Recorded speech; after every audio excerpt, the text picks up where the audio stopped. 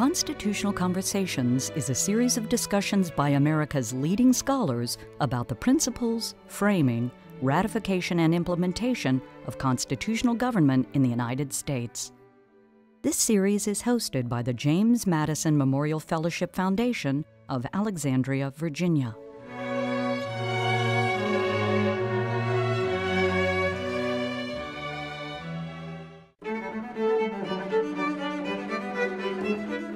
We think of the 18th century as, as Thomas Paine, for example, called it, the age of reason.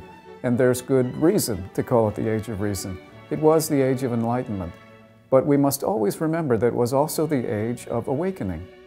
And during particularly the 1740s and 50s, those decades that immediately preceded the American Revolution, there was a, a religious phenomenon that swept the colonies from north to south. And uh, it burned brightest during those 40s and 50s. And there were two individuals that we tend to associate with that. George Whitfield, who was an English uh, clergyman, an Anglican in fact, an evangelical Anglican who came to America uh, numerous times to preach and evangelize. And then an American, Jonathan Edwards, who eventually would come to what's now Princeton University to become its president. But those two, Edwards and Whitfield, were sort of the spearheads of the Great Awakening.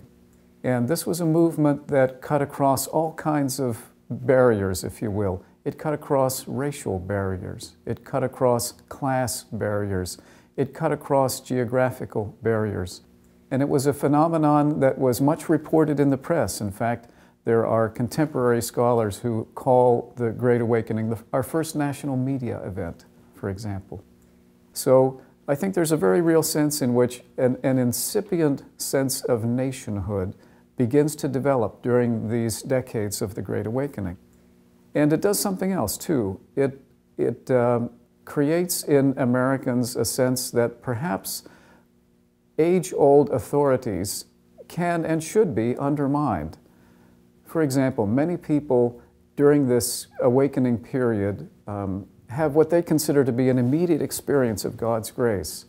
They go to hear George Whitfield, for example, a very powerful preacher who loved the common folk and uh, carried around, had built for him a portable pulpit that he would set up in the middle of a field, for example, and thousands, sometimes tens of thousands of people would gather to hear him preaching.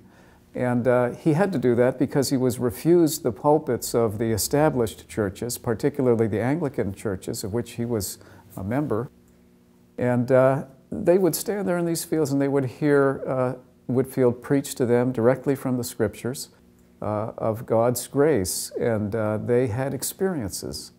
And they, they felt that they were experiencing God afresh directly. And they didn't depend on a, uh, on a clerical class, they didn't depend on uh, an authority structure for that experience.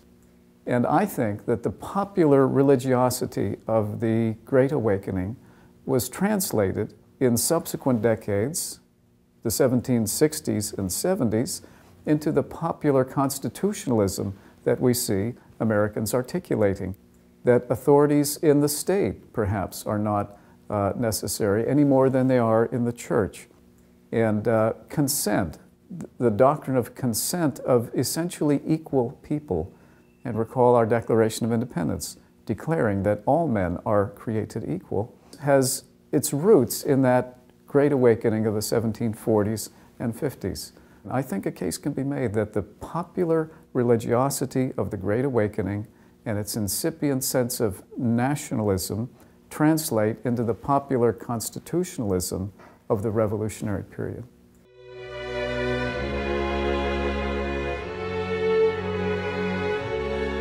Constitutional Conversations is made possible by a generous grant from the Fairleigh S. Dickinson Jr. Foundation. Constitutional Conversations is made possible by the James Madison Education Fund.